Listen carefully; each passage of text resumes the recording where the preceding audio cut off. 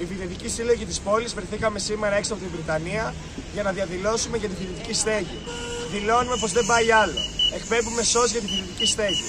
Δεν γίνεται τη στιγμή αυτή που το ΟΠΙΘΙΤΑ καλεί να χτίσει boutique hotel, που δεν υπάρχουν φοιτητικές αιστείες, που αυτή τη στιγμή μόνο το 2% των φοιτητών του ΟΠΙΘΙΤΑ μπορούν και διαμένουν σε διαμερίσματα των εστιών, η κυβέρνηση και η Βρυτανία να μην προσπαθούν καν να δώσουν ούτε μισό ευρώ για τις ανάγκες και τις σπουδές μας. Οι φοιτητές ερχόμαστε εδώ πέρα στις πόλεις όπως η Αθήνα, τη Θεσσαλονίκη και σε όλη την Ελλάδα και δεν μπορούμε να πληρώσουμε τον νίκη αφού κάνει μια εγκαρσονιέρα 500-600 ευρώ και ταυτόχρονα δεν μπορούμε ούτε και την ακρίβεια στην ενέργεια, στα φαγητά, στο τρόφιμα και σε όλες τις υπόλοιπες ανάγκες να τα πληρώσουμε. Έρχεται ένας φοιτητής δηλαδή πρωτοετής ή και σε μεγαλύτερο έτος, αντιμέτωπος με το ζήτημα ότι πρέπει να παρατήσει τις σπουδές του ή να πρέπει να δουλεύει σεζόν και για χρόνια για να μαζέψει λεφτά για να έρθει να σπουδάσει.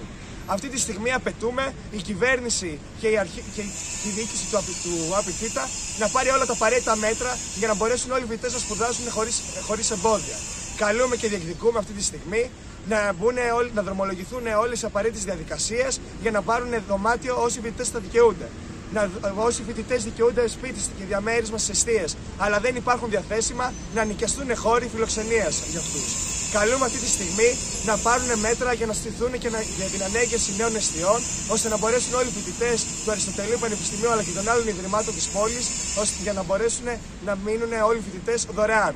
Καλούμε στην αύξηση του επιδόματος για τη φοιτητική στέγαση που είναι στα 125 ευρώ και η πλειοψηφία των φοιτητών όπως η Θεσσαλονίκη και οι Αθηναίοι δεν δικαιούνται καθόλου. Ταυτόχρονα διεκδικούμε να πάρουν όλα τα μέτρα για να γίνουν οι μεταγραφές για όσους φοιτητές το δικαιούνται. Οι Ειδικοί Σύλλογοι καλούμε αύριο στις 5.30 ώρα στην πλατεία Χάνθο στο κάλεσμα των εργατικών σωματείων εν ώψη των εξαγγελιών του Πρωθυπουργού στην ΤΕΔ. Για ακόμα μια φορά λέμε όχι στα ψέματα και στην οροποιημένη εικόνα που παρουσιάζουν μια άλλη πραγματικότητα από αυτή που ζούμε καθημερινά ο λαός και η νεολαία.